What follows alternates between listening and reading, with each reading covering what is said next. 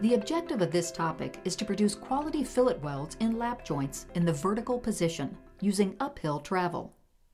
On a blueprint, the symbol looks like this. On both sides of the joint, deposit fillet welds with equal 3 16 inch legs.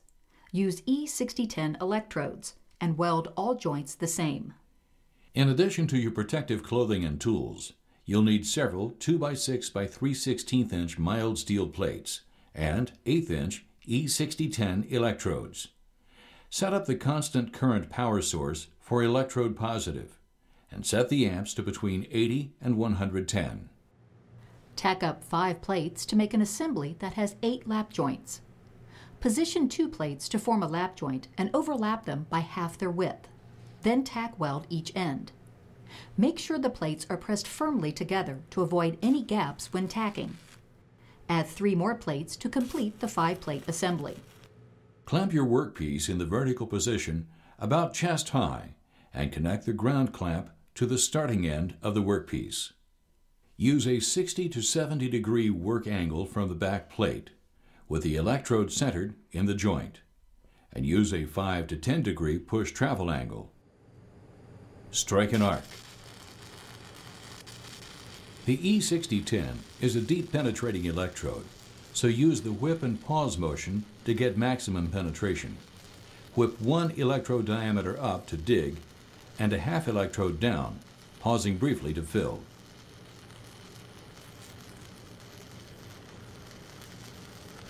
Read the puddle and adjust your travel speed and arc length to produce a consistent, evenly rippled weld bead that melts into the edge by 1 16th of an inch to ensure complete fusion.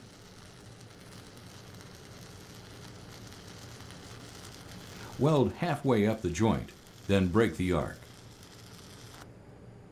With the same work and travel angles, place your electrode about a half inch above the crater. Using a long arc for preheat, Move back to the crater and then shorten your arc length to about one electrode diameter. Pause briefly to fill the crater, then continue travel. Move your arm, not your wrist, to keep the travel angle consistent as you move up the joint. The finished weld should be flat to slightly convex with a uniform ripple pattern, equal legs, and complete fusion along the toes. Continue welding on each side of the workpiece until you've completed all eight lap joints. Cool the workpiece as needed. Check with your instructor and continue practice.